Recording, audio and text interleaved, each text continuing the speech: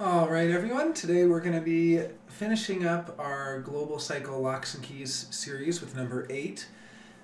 And we're talking about the lock of gate two, which is known as the plan. This is the receptive, all yin. Everything yin. And every, this is one of our directions, you know, every era, every epoch has its plan. What's the plan? And uh, we can see that the directions are the witness, the leader, the example, and the plan.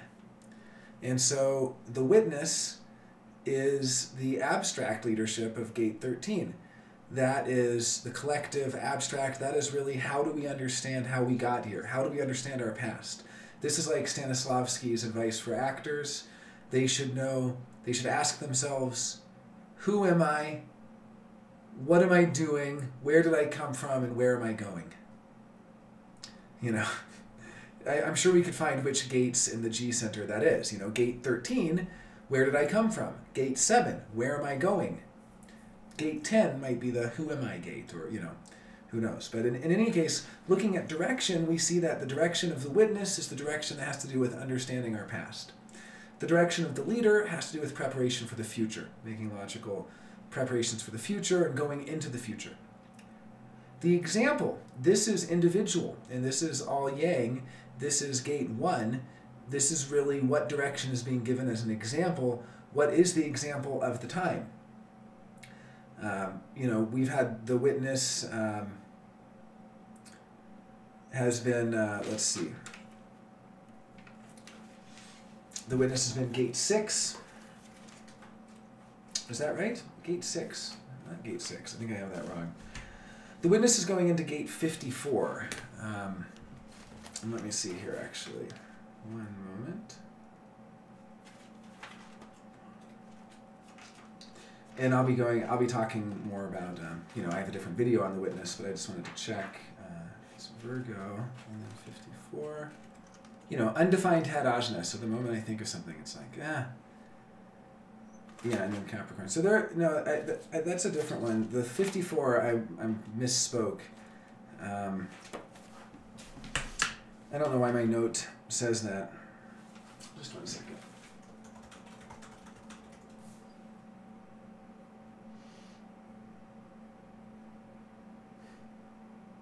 Sixty-one. Sixty-one. Yeah, it's not gate six. I'm like, wait, it's not gate six. Why does my note have gate six? Gate sixty-one. Okay, that was yeah, I'm like, I just did this video too. I think I would have remembered if one of the uh, keys were gate six. Now, what, what would that be the key to? That would be an interesting question, right? We do have gate 59 um, as, as actually the upcoming key post 2027 for the temple. It's actually replacing gate 46.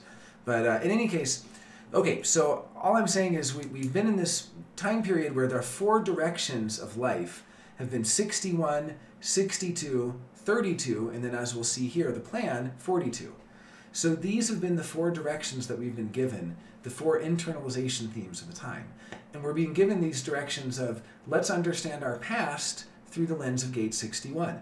Let's understand our future and who can take us into the future through 62. The ability to make money and have material success through details. If you read some of the lines of gate 62, this is like being able to survive in the future through detail work. Um, the example has now shown us, you know, the fear of the time and the intelligence of the time, which is the intelligence of how to avoid failure, the fear of failure. And finally, we get to the plan. And the plan is gate 42. And I just find this so cute. Gate 42 is endings. It's endings. So that's the plan for our time.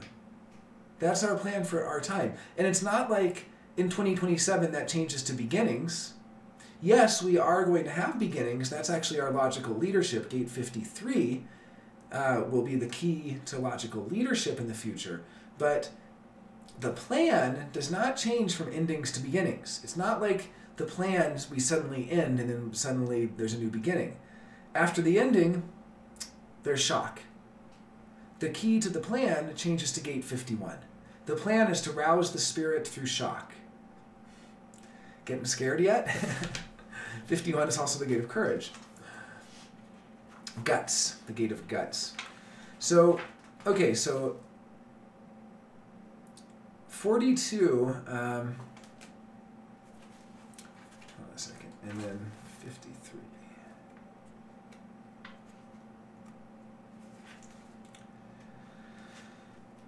So it's so interesting that the gate of beginnings is going to be coming in as the key to the leadership, to the logical leadership. This is an abstract gate. I was talking about this in um, number four, I guess, number five, uh, where we were looking at the witness theme. And you know, this is it's we're going from a logical key for a logical lock and a logical key to having a abstract an abstract key to the logical lock. And it's just it's just interesting to see that that that we are going to have new beginnings, but new beginnings are going to be what we're looking for in a leader. We're looking for leadership that can bring us new beginnings that we can trust their past track record. They have a good track record for starting things. Now, on the other hand, the plan is very different from leadership, right? This is the plan is not what's leading us. The plan has to do with our receptivity and what we are following and what we are receptive to. And we see that it's been and will be until February 15th, 2027, in the gate of growth, the gate of endings, of maturation, part of the channel of maturation, a design of balanced development. This is the gate of maximizing the potential of beginnings through expansion. This is also the gate of bringing things to a close so that the next step can be taken. That's what we're in. We're in the time of bringing things to a close. The power to complete a cycle is the heart of the growth process. One thing at a time is its mantra. Here, in this format, is the core of the abstract process. Since there is no splenic center activation in this circuit, the cyclic process can be unhealthy and is always dominated by the presence of fear. Without the spleen, the recognition of the essential value of the now is missing, and yet for the stability of the abstract way, it must be accepted as essential. We exist in the now anyway. I, like that, you know, gate 46 is the most existential gate, and it's deep in the abstract. Despite our perspectives, we exist in the now. The change of the cyclical process is not the goal. The grail is the experience. The abstract being must be absorbed in the experience of the now in order to reflect on the experience later. The potential of growth is its power to mature through completion of each cycle. So, yeah, this is very near and dear to me as a personality sun in gate 46. The description here 42, increase the expansion of the resources which maximizes the development of full potential. And right now we're in line one. The ability when surplus resources are available to extend one's activities beyond their normal scope. So since 1960-61, there's been a lot of extension of activities because of all the surplus resources. Growth through expansion, particularly when defined to the root. This is diversification, is the, the line. The detriment, a tendency when surplus resources are available to centrifugal application. Decadence. Too much expansion can lead to decadence. you see here, we're in a time of decadence.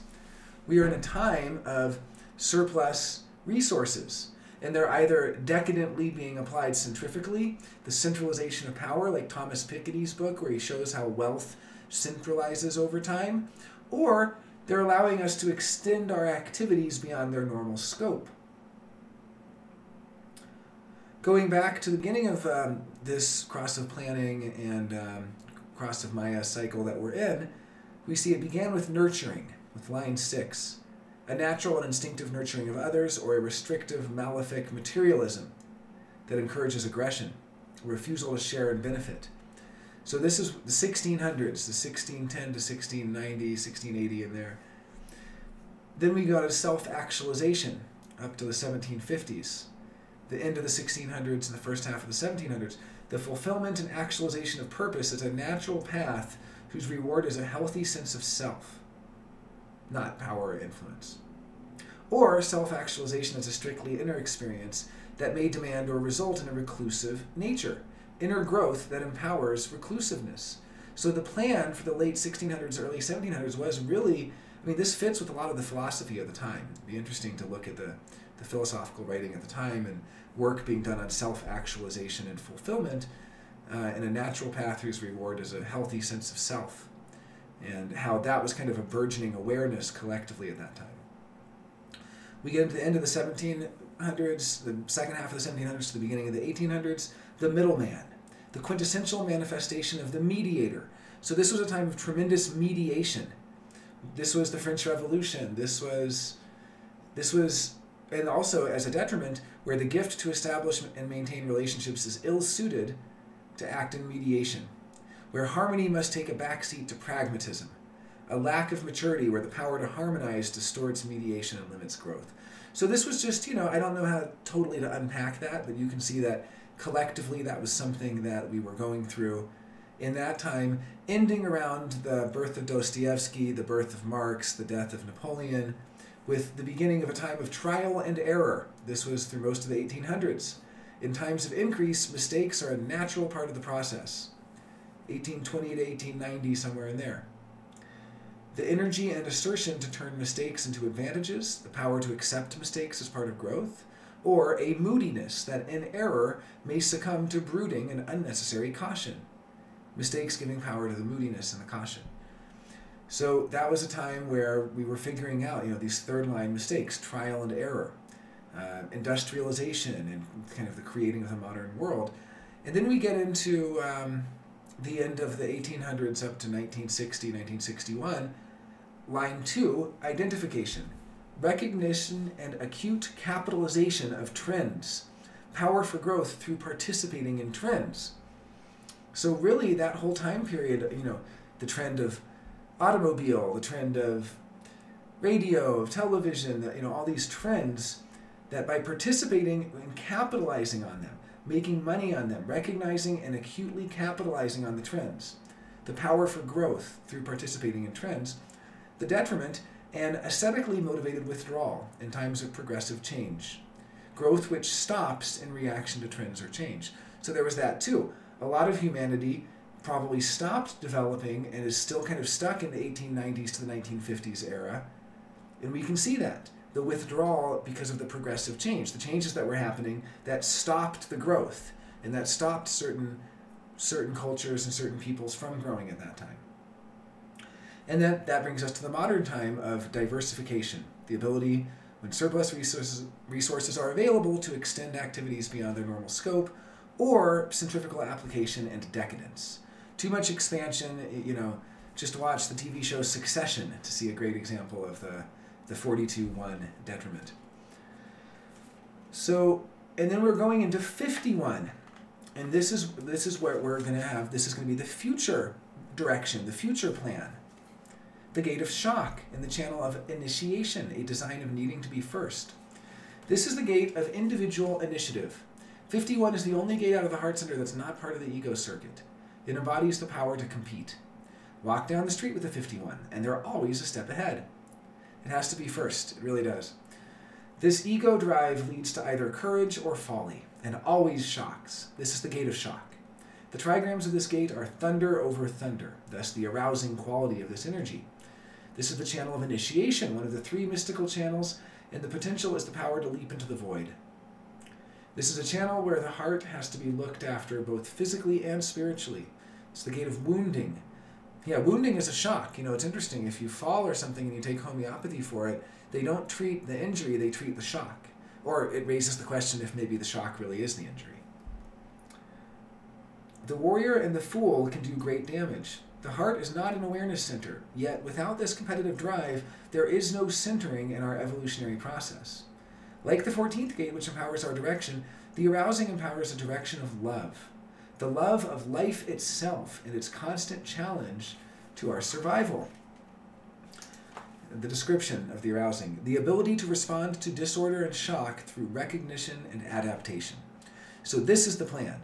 The plan is we're going to develop the ability to respond to all the disorder and shock in the world through recognition and adaptation. And to do this requires separation. This is the first step. Line six, separation. In times of crisis, when all those around are confused and in disorder, the ability not to succumb to the panic, but to have the will and vitality to survive it alone. Separation. The power of the ego to meet challenges alone. Or on the detriment, the same gift, but one by its attitude that invites disapproval and in the extreme may even prevent a successful separation. The egoism to meet the challenge alone that may provoke and empower the challengers. So what this is saying is that part of the, the direction, you know, one of the four directions we're being given in this future era, not the direction of the abstract or the logical leadership or being the example with the fear and the intelligence, but this is the one that's about the receptivity, what we're here to be receptive to, what we're here to kind of go in the direction of, and to follow the river. And where's the river taking us? The river is taking us through this whole time of endings and this time of the door closing, the Gate 52 theme, the theme of the decadence at the end. The decadence when the overexpansion has happened and the centrifugal application of, of the, the surplus, and we're essentially leaving behind this time of closing and ending and decadence and entering into a time of shock where we're being called to separate, to separate from forces that are in chaos and disorder. And, you know, this is the necessary separation from those forces. And that is the direction we're all being given by Gate 8. The plan, which can only be accessed now through Gate 51. I mean, this is the key that gives us access to that. This is what the plan is, is now. And to have access to that plan, we're kind of being tasked with separating from the disorder and the chaos and from those that are just freaking out in the disorder and the chaos so that we can center. Remember, this is part of the centering circuit. And we can center in ourselves as ourselves, not provoking others. You can provoke them so much that they hold on to you and don't let you go. You can provoke them so that they get in the way of the separation. This is about separating in a way that doesn't unnecessarily provoke. I mean, the 51 will always be provocative, like the 39, and you know, it'll always shock people. But this is about what is that healthy separation of standing alone as yourself? It's almost like a right variable theme. Standing as yourself in the world alone, separated from the forces that are preventing you from doing what you need to do in order to survive and centering yourself. Thanks for watching.